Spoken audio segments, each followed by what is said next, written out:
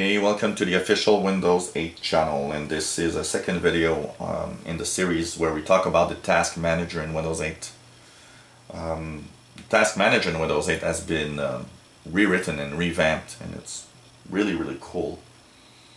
Um, if you haven't seen already, we have a video online that talks about the processes uh, tab. Today we're going to talk about the performance tab.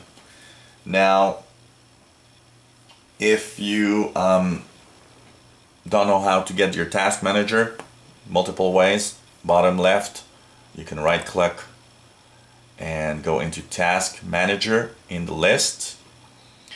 Um, if you uh, also go into the uh, desktop app, you can click at the bottom of your screen and um, right click there you'll have task manager available. You can also go and swipe from uh, right to left on your desktop on your to get the charms bar on the left on the right side of the screen sorry. So you uh, swipe from right to left get the charms bar or go into the corners with your mouse go into the search in the charms and start typing task to get the task manager back Keep in mind that your task manager can be um, looking like this.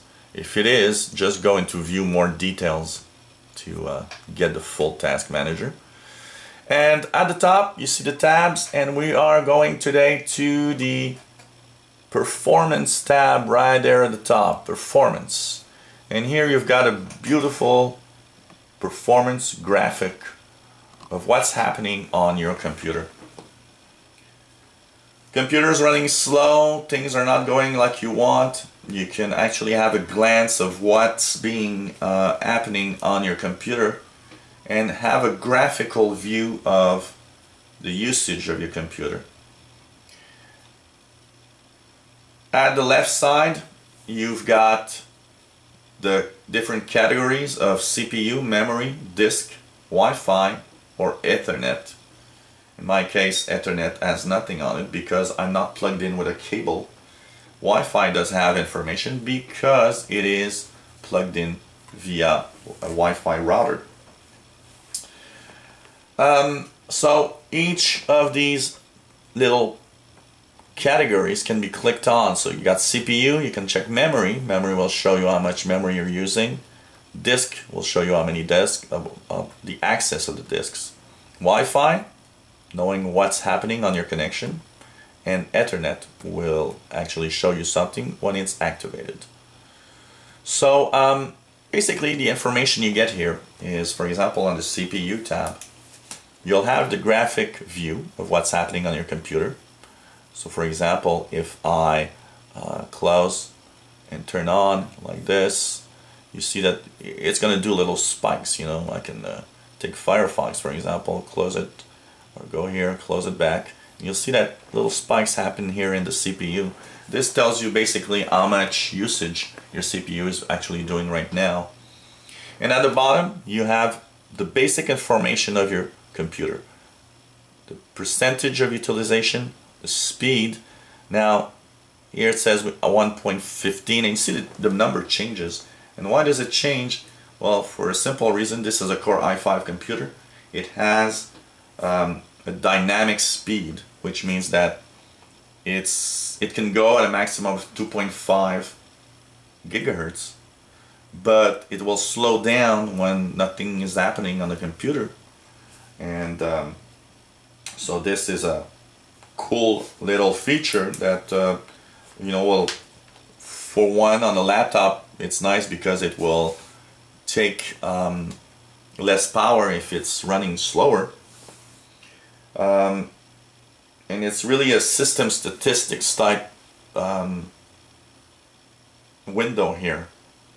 You've got, of course, the processes, the threads, the uh, handles, the uptime, how long the computer's been running, four hours now, and uh, maximum speed of the CPUs written there, the sockets, meaning how many CPUs are actually physically installed, cores, how many cores in a computer, two in that process in that processor, and local logical processors, meaning that with um, hyperthreading and um, logical process usage, you can have what looks like four cores. And the different cache memory of your computer, uh, computer's um, processor. What's cache? Cache is basically a little piece of memory and the processor can write to that memory the uh, most often used in, uh, instructions. So that instead of having to call it back from the processor list it actually has access to it much faster. So in uh, in theory and also in real and reality uh, it does tend to um, speed up the computer's usage then on the left side you will have memory so the amount of memory used um, here it's very a flat line why because I'm not doing much but if you if I click on a few programs here to you know just bring them up, go back, you'll notice that it just went up slightly. And that's because I've opened up programs, so I'm using more RAM memory. So uh, you can, you know, have a quick view of the RAM memory. Gives you also at the bottom information about um, how much memory is used, 2.4 gigabytes. What's available, 5.5 left. Um, you'll have the cache, which is basically what Windows puts away a little bit in case of you know of usage, what it needs. Um, committed is what's being used or basically is committed to different programs. Um, and at the bottom, well, page pool and non-page pool is basically information on your computer itself of uh, how many threads and programs are using such uh, uh, processes there. And uh, you got a speed of your memory. Here is clocked at 1600 megahertz. You've got the sockets used. So in your computer you might have more than two sockets, for example, for memory, uh, little memory cards. So uh, when you put in a little memory card in your computer, it will um, actually take a socket. So computers range from anywhere from two to four some I've seen with six sockets uh, typical laptops have two um, so and it tells you that SODIMM which is a laptop type memory and uh, hardware reserved which means that there's 47 megabytes reserved for the computer itself in the memory uh, for working Third thing you can see is disk usage. Disk usage is really what it says. Disk usage is telling the computer how much of your hard drive is being used at this time. So um, what you do is you look at these little spikes tells you how much megabytes or per second um, and what's interesting also, you've got details of information. For example, some people sometimes like to upgrade their hard drives with uh, faster hard drives. Um, example here in my computer, I've got a um, 5200 turns per minute hard drive, which is typical for a laptop. But I might want to have, uh, 5400, sorry. Uh, you might want to have a faster hard drive, which usually gives you a little better performance. So you can buy a 7200 or a 10,000 RPM hard drive. And you can compare afterwards the information and see well the average response time for example is it slower or is it faster gives you an idea of you know performance um, you've got the read and write speed so if you're doing something intensive it's going to tell you um, how much information and what speed it has been uh, written or read from. And you've got the capacity, 596, so this is a 640 gigabyte drive. Uh, formatted, got 596 gigabyte left. And uh, system disk, so it will make a difference because if you have more than one hard drive, for example, you've got a USB hard drive plugged in, you'll have disk 0, disk 1, disk 2, and so system disk means that this is the official disk a hard drive where Windows is installed. If you have disk 1, disk 2, you'll know that it's not gonna it's gonna say it's not a system disk. That means there's no Windows installed there. Or the actual Windows where that you're using is not installed there. And uh, page file, which is a way of uh, actually writing down information on a hard disk. So um, on the upper right, you also have a little detail about the, what type it is. It's a Toshiba MK6475 GSX. So it tells you what type of hard drive you've got in your computer, which is a Toshiba drive here. So lots of information about what's happening on your disk activity uh, viewed in a uh, nice little graphical point of view here. Uh, the other one you might have, uh, keep in mind some of stuff here might not be there. So if you have a desktop, for example, you might not have Wi-Fi if you don't have a Wi-Fi card. Um, so some stuff are there, some are not. might differ a little bit on your computer.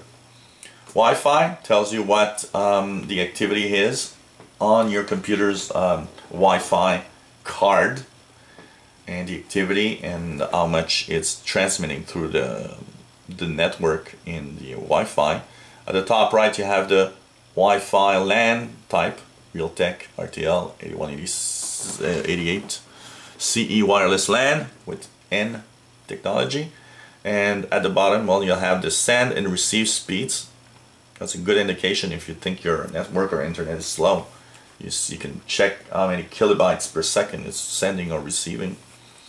And, uh, well, data name Wi-Fi, the uh, SSID, which is the name of your home network, Wi-Fi network. Connection type, so this is a uh, 802.11n.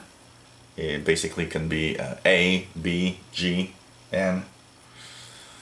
And uh, the IPv4 and IPv6 addresses are written here. And the signal strength always visible right there. And uh, basically it's the same type of information you'll find on the Ethernet. So if you're plugged in with a cable, what you see here on my Wi-Fi is basically pretty much the same information you'll see on the Ethernet um, of your computer. So this was a small explanation of the performance tab in your task manager. Um, you can right click on any of those and go into summary view which will give you a much smaller window. It can be useful if you are looking for reasons why your computer might have problems. Uh, by doing that, you'll be able to um, have that little window there while you're doing other stuff on your computer. So um, that's a great way and you can of course bring it back um, to the uh, take out of the summary view by right clicking on it and go back to the graphical view. So um, if you've got that new Windows 8 machine or if you want to learn more about Windows and Windows 8, well, hey, um, click the subscribe button at the top of the screen. You'll be informed when new videos are online. Um, actually, it's not at the top, it's somewhere on the screen. And um, if you um, have a request, have comments, questions, let us know. If you have a request of a feature you'd like to see reviewed, um, or talked about, let us know. We'll try to put a video online. And uh, hope that you uh, enjoy our channel and that you'll come back. Lots of videos online if you want to learn more on how to use your Windows 8 machine. Thanks for watching. Bye-bye.